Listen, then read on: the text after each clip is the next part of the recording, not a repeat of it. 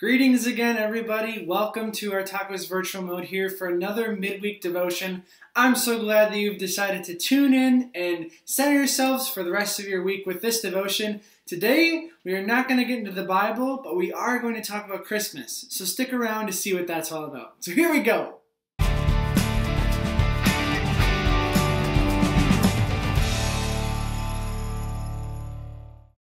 All right, friends, so you may have known something we have entered into the season of celebrating Christmas, or as in the church we call this the season of Advent. But before I really dive into what Advent can mean, I want to ask you a simple question that you likely have a, a really valid answer for. And the question is what is your favorite Christmas movie?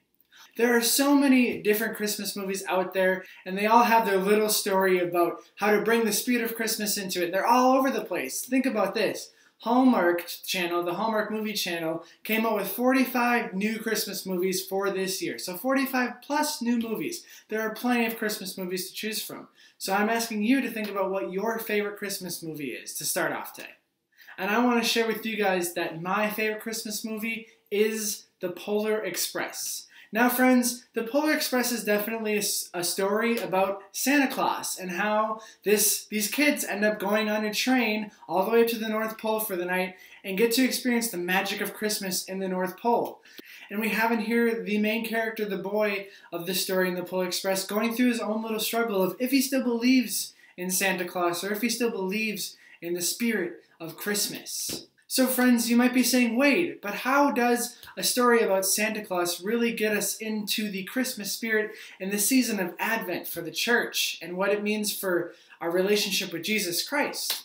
And I have the answer for you. So, some of you likely know that, as I've already stated, we are going into and we are in the season of Advent for the church, which is the season leading into Christmas. Now, some of you likely have heard over the course of the last week or in church or in church before this year that Advent is the season of waiting. Over the course of the next four weeks at church, if you were to go to church, you would be lighting candles every day and you would be talking about how you're waiting for the, the Christ child to be born, how this is always a season of waiting. And that is the primary message of the season. You are waiting for Jesus to be born. You are waiting for the Holy Spirit to come to this earth.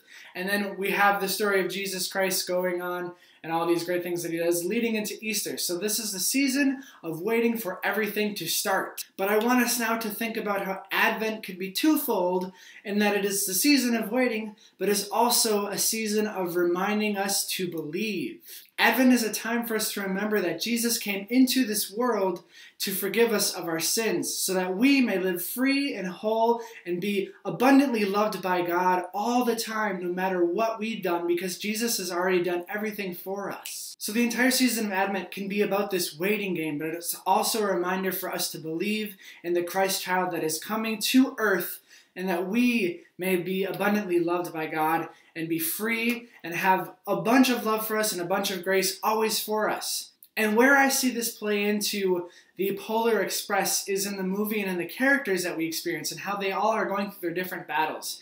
Think about this scene as the characters are out on the back when they meet up with Billy. We have the girl who is very strong in her faith and very much believes in the North Pole and believes in the spirit of Christmas and is waiting to see what is there for her.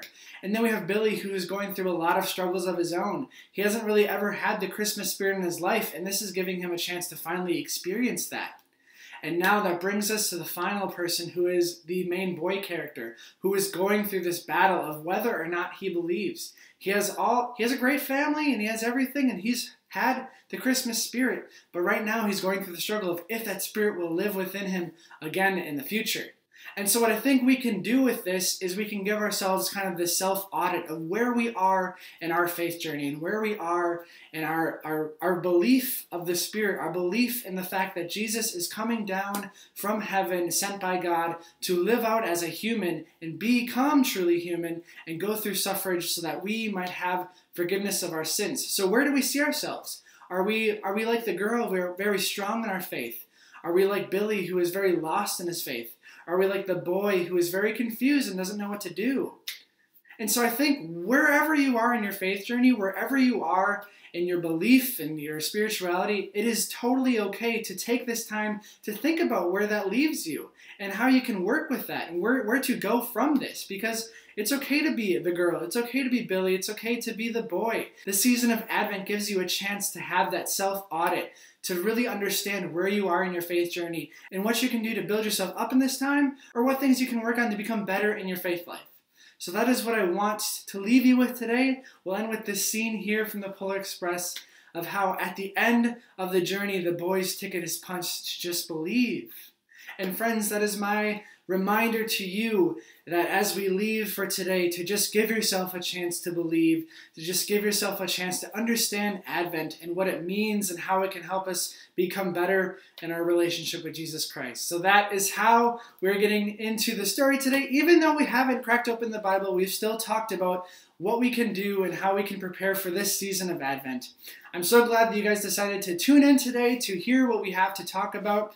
I look forward to any questions that you have for the rest of the week as we will get back into our Talk About It Friday video at the end of the week. So send in any questions that you have, and we will see you then. Have a good one, everybody.